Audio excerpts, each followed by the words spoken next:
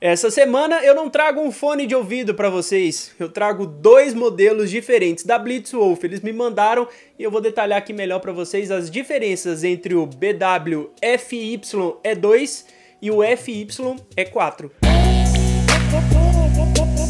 Fala pessoal, eu sou o André e tô aqui hoje para falar um pouquinho mais sobre fones de ouvido totalmente sem fio que a Blitzwolf me mandou. Antes de qualquer coisa, desce o player aí, se inscreve no canal porque dessa forma você me ajuda pra caramba.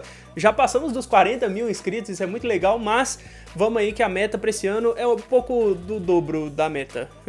Beleza, vamos lá, vamos falar de fone de ouvido totalmente sem fio. Eu vou começar falando da similaridade entre o FY-E4 e o FY-E2, dois fones de ouvido totalmente sem fios da Blitzwolf. Eles são muito parecidos porque tem as caixinhas muito parecidas, né? Você só coloca os plugs ali, eles têm mais ou menos o mesmo peso, a mesma medida, então a forma de conexão é muito simples, você tira da caixinha, ele já liga, você coloca eles no seu ouvido, parei um lado com o outro, né? Isso é totalmente de forma automática. A única coisa que você vai ter que fazer na hora que liga ele é apertar o botãozinho aqui do lado direito e procurar lá no seu dispositivo, no seu smartphone, tablet, computador, para poder parear. Depois disso, tirou da caixinha, ele já conecta automaticamente e já está funcionando muito bem. Os dois são muito confortáveis de usar e a qualidade de áudio deles é muito parecida. Não tem, cara, sendo bem sincero, eu não distingui nenhum dos dois.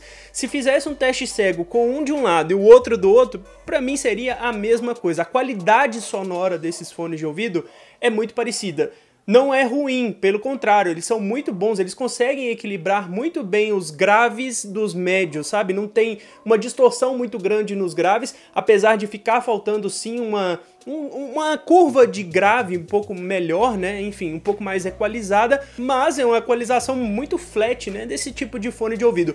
Para ser bem sincero com vocês, quase todos os fones de ouvido possuem a mesma qualidade, fones de ouvido Bluetooth que eu digo, né? O caso desses aqui não é diferente, ele não destoa nem para o grave nem para o agudo, tem uma qualidade bem legal. Então você pode, sei lá, consumir seu podcast, escutar música, enfim, vai funcionar da mesma forma. Eles vão funcionar, vão te dar a qualidade da mesma forma, basicamente. Agora, deixa eu falar um pouquinho mais da diferença entre um modelo e outro. Logo quando eu recebi essas duas caixinhas, eu falei assim, poxa, é o mesmo fone, só que com cores diferentes. Mas não, eles são bem diferentes um do outro.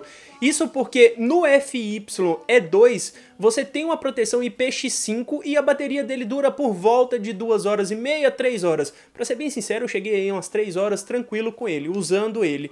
No caso do FY-E4, ele não tem a mesma proteção, então ele tem IPX4, né, um nível inferior, mas a bateria dura mais. A bateria chega aí por volta de 4 horas e meia, 5 horas. Nos dois modelos, os fones de ouvido, as cápsulazinhas, possuem baterias de 50 mAh, mas a bateria dessa caixinha aqui tem 20 mAh a mais do que essa aqui. Então, se você está atrás de um fone de ouvido Bluetooth que te ofereça várias horas de reprodução, é melhor ir no modelo FY-E4.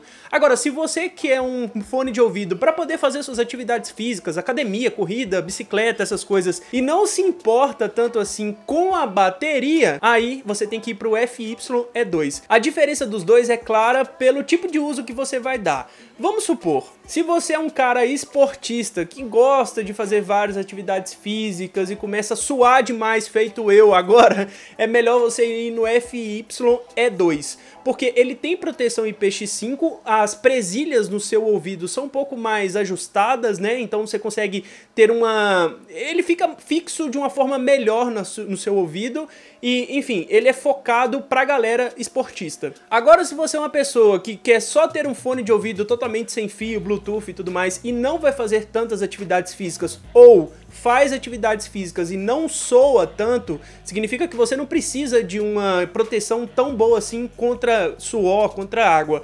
E aí, nesse caso, é melhor ir no FY-E4, porque ele tem mais bateria. Afinal de contas, quanto mais bateria, melhor. Falando em bateria, essas caixinhas aqui são capazes de fornecer 5 cargas para os fones de ouvido. Então, suponhamos que se nesse caso aqui a bateria dura 4 horas, você consegue aí por volta de umas 20 e poucas horas de reprodução.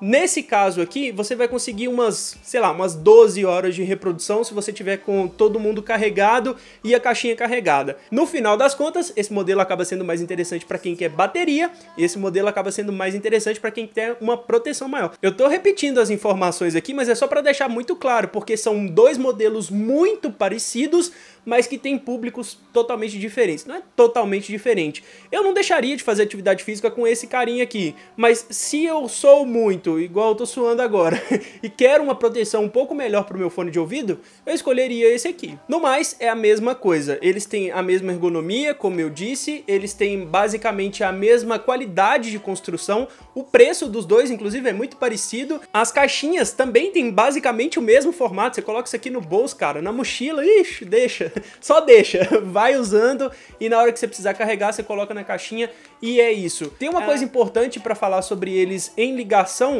que esses fones de ouvido, é, você consegue usar os dois fones ao mesmo tempo em uma chamada, diferente de outros fones que eu já testei aqui, como o QCY T1 Pro, o Q29, que quando você atendia uma chamada, só um lado funcionava. Nesse caso aqui, os dois lados funcionam em conjunto, o que é bem legal, porque você consegue ouvir a chamada de uma forma melhor e a pessoa também te escuta de uma forma melhor, já que tem microfone nos dois lados, né? Bom, se você quiser aí qualquer um desses fones de ouvido, e eu resolvi fazer o review deles aqui para vocês, o vídeo review para vocês, porque eles são muito parecidos, e eu acho que não seria justo com vocês fazer um vídeo de um e depois meio que copiar quase as mesmas informações pro vídeo do outro. Então por que não já fazer o vídeo dos dois fones de ouvido, né? Esses dois modelos da Blitz Wolf que eu gostei pra caramba. Se você gostar desses fones de ouvido, tem link aqui na descrição do vídeo, que você consegue ir pra loja e já adquirir o seu. E por favor, use os links da descrição aí, que dessa forma você me ajuda a trazer mais conteúdos pra vocês. É isso, espero que vocês tenham gostado desse vídeo aqui, esse vídeo review de dois fones de ouvido que parecem muito, mas na verdade tem públicos bem distintos. Espero que vocês tenham gostado, eu sou o André, um grande abraço pra você, até a próxima. Tchau, tchau.